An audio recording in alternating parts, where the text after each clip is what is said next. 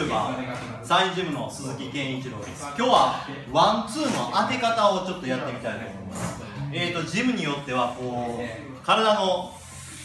中心を打てっていうふうに教えはるところがあるんですけどそうしてしまうとちょっと待っていい？今もうガードに阻まれてもちろん肩にくくなるのであの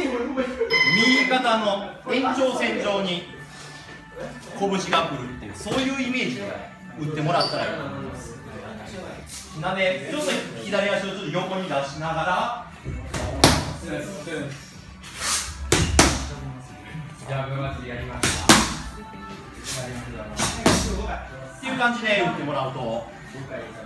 当たりやすいです、えーと、相手の顎に対して右肩があこの位置ですよね。右肩が相手の顎の延長線上にある位置をジャブをつきながら取って左回りしながらで取りながらどっかでストーンっていうイメージでやってもらうと当たりやすいと思います。であのまたあのガードがねしっかりこうなってる相手で例えばこっち取られてる場合とかこんな場合でしたらちょっと肘を開きながらここのテンプルを狙ってもらうと結構効きます。よくみんなあのもうこの位置で脇を締めろ脇を締めろとかっていう応援とかよく聞くんですけどこんな位置で脇締めても当たるもんも当たらないんでそういう場合は逆に脇を開いて肘を上げて相手のこめかみを狙うようなイメージ。ですトーンドン。ここを狙うあの結構こめかみ食らうと目がこう前後に上下にガーって揺れる感じがしてかなり効きますんで。しっかりガードしましょう。はい。そんなわけであの次足の動かし方なんですけどもえっ、ー、とあの人によっては、えーと、ジャブ打った時に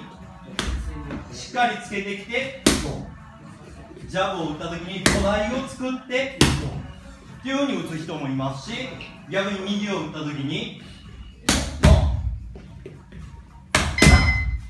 右をつけてくると同時に右ストレートっていう人もいます。まあ、のどっちでもいいんですけどもあの日本ボクシング連盟の今主流の打ち方は右足と一緒にこう手を出す。トントントントントントンっていうような打ち方になってますんでまだここら辺はあのうちの公認コーチの藤井先生があの詳しく教えてくれますんでよろしくお願いします以上ですありがとうございました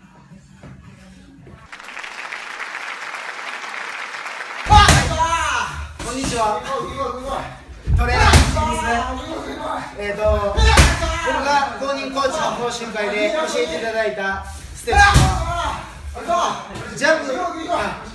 くように、歩くように打つ。下がるときも歩くように、下がるときも歩くように、前に出るときも歩くように。しゃ